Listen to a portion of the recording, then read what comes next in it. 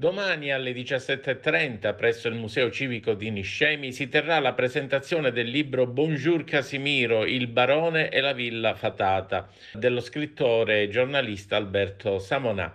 L'iniziativa organizzata dall'associazione Agorà, presieduta da Salvatore Buscemi, a moderare l'incontro sarà la dottoressa Valentina Spinello. Con lei interverranno, oltre all'autore Alberto Samonà, l'avvocato Pino D'Alessandro, cassazionista e scrittore, e l'attore Monsignore Nunzio Buonadonna.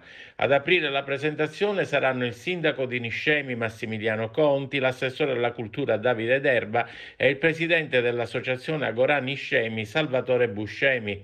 Il libro racconta la vicenda di un uomo contemporaneo, Giulio, che si reca nei luoghi in cui visse il barone Casimiro Piccolo, acquarellista e fotografo, il quale a partire dal 1932 scelse di abbandonare la mondanità di Palermo per trasferirsi nella villa di famiglia sulle colline di Capodorlando.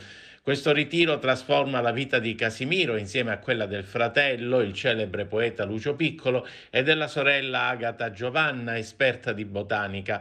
La villa spesso era frequentata anche dal cugino Giuseppe Tomasi di Lampedusa, che amava soggiornarvi per cercare spunti per quello che sarebbe stato il grande capolavoro letterario del Novecento, Il Gattopardo. Le pagine di questo romanzo rappresentano un viaggio, un'immersione del protagonista nell'universo di Casimiro, popolato da gnomi, ninfe, maghi, folletti ed altri spiriti della natura che il barone artista affermava di incontrare nelle lunghe passeggiate notturne per i giardini e le campagne della tenuta e immortalava nei suoi acquarelli a tema magico. Bonjour Casimiro è un inno alla vera aristocrazia, non quella del censo, ma quella dello spirito ed è un invito a intraprendere un viaggio interiore alla scoperta di se stessi e di una visione universale che riconcili l'uomo alle leggi dell'assoluto.